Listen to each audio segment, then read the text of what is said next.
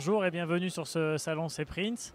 Donc, euh, je suis Thibaut Veuillet, responsable de l'application Division chez Exis.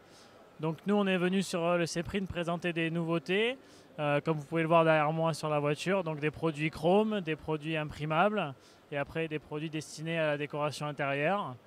On est bien entendu membre du FESPA France et c'est avec celui-ci que nous allons créer un CQP de poseur. Donc, on va référencer le métier enfin auprès de notre cher État et créer des écoles de formation.